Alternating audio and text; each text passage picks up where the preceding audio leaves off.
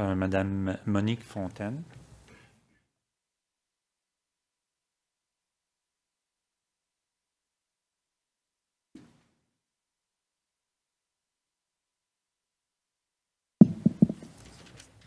Merci. Monsieur Et j'appellerai euh, Monsieur Benoît Chevalier pour la salle ici. Alors, à vous la parole, Madame Monique Fontaine. Monsieur le Président, Madame et Monsieur les commissaires, euh, bonjour. Euh, Monsieur le Président, j'aimerais savoir dans quelle mesure les entreprises participent à l'élaboration des normes CSA et en ce qui concerne la norme dont on a beaucoup parlé aujourd'hui, la Z 662-15, quelles entreprises? D'accord. Alors, je vais adresser directement la question aux représentants de CSA. Donc, euh, Monsieur s'il vous plaît. Uh, Mr. President, we have a complete list of the, um, of the uh, volunteers, the members, um, on the uh, Technical Steering Committee for Z662 that we can provide. C'est excellent. C'est excellent. Donc, la- la- la- ça va être déposé, Madame, si ça ne vous dérange pas d'attendre quelques temps. là, ça va apparaître. Quand- est-ce que vous allez pouvoir la déposer, Monsieur McDougall? Ce soir? Aujourd'hui ou dans les prochains jours? Right away, as soon as we have access to uh, A email. printer? OK. Yes. OK. Thank Thank you. Thank you very much.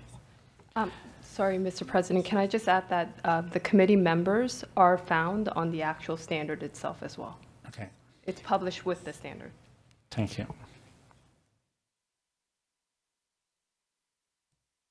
Donc, euh, Madame Fontaine, ça va? Euh, Monsieur Benoît Chevalier? Euh, bonjour, Monsieur le Président, Madame, euh, Monsieur le Commissaire. Benoît Chevalier, je suis conseiller stratégique à la Direction générale de la Ville de Lévis. Euh, à l'est de Lévis, l'oléoduc longe une emprise du Canadien national sur une bonne distance et la conduite serait située à approximativement 13 mètres centre euh, de l'emprise et à une profondeur de 1,5 mètres. La question, c'est est-ce que ces critères, être à 13 mètres et 1,5 mètres de profondeur, garantissent euh, l'intégrité de la conduite dans le cas d'un déraillement majeur sur une section de la voie ferrée où les convois circulent à haute vitesse. Je commencerai par euh, envoyer la question à Monsieur Bergeron.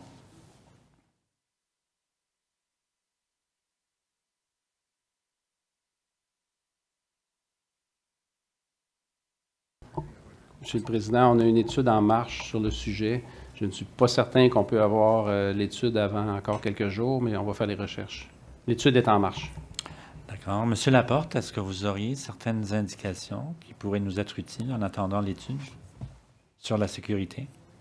Pouvez-vous répéter la question? euh, Euh, je pense que je ne prendrai pas la chance de l'interpréter dans mes mots, mais je vais laisser le soin euh, à Monsieur euh, attendez un petit peu, Chevalier de vous l'adresser. Monsieur Chevalier, Oui, c'est pas trop vous euh, demander.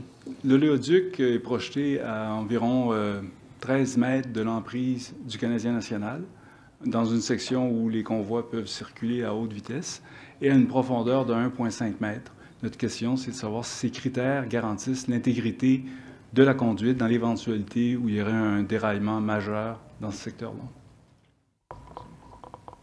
Je vais demander à M. Kouchounian de répondre. Euh, nous avons, euh, selon les enquêtes euh, qu'o- qu'on a faites, nous avons eu un cas où euh, il y avait un déraillement de train euh, qui, euh, qui était avec un, pipeline dans les, dans les environs du, du déraillement. Je, n'ai pas, je pas les spécifiques de cette, de, en tête, là, de mémoire. Je ne connais pas les détails de ça, mais je n'ai nous avons, je pourrais regarder nos, nos dossiers et vous revenir là-dessus, mais on n'a pas de, de, mémoire. Je ne me souviens pas avoir euh, euh, tous les détails de ça.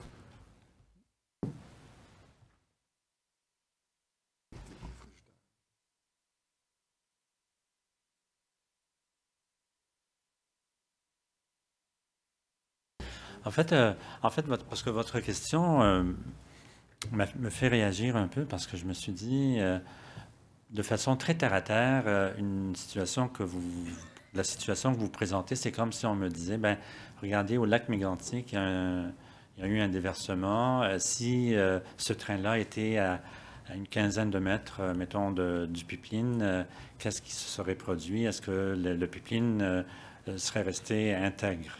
Euh, c'est ça l'image qui, qui me suis venue, là, qui m'est venue à la tête, pardon.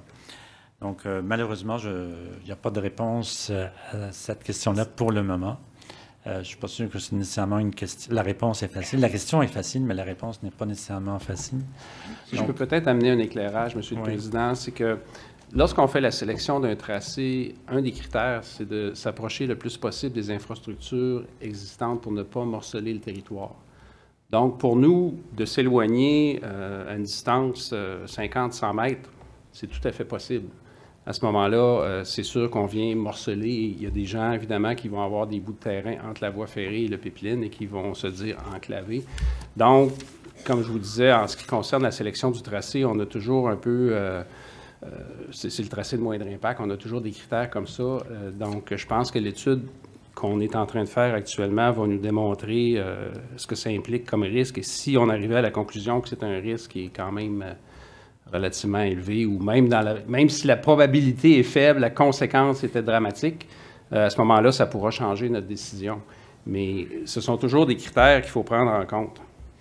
En fait, c'est surtout aussi en lien avec euh, l'information véhiculée ce matin par votre collègue à l'effet que la distance minimale varie entre deux, deux Ouais. infrastructures varierait grosso modo entre 6 mètres et 10 mètres, là, minimal.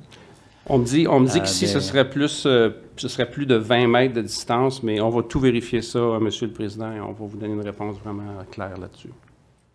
Et c'est surtout, j'imagine, dans cette étude-là, vous nous allez nous indiquer quels sont les critères qui auront prévalu pour, euh, euh, pour fixer cette distance de 20 mètres, si c'est 20 mètres.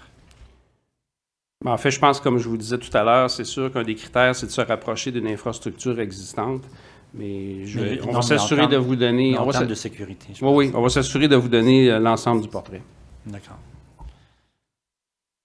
Alors, euh, merci, Monsieur Chevalier. Euh, J'appellerai Monsieur Benoît Bouffard.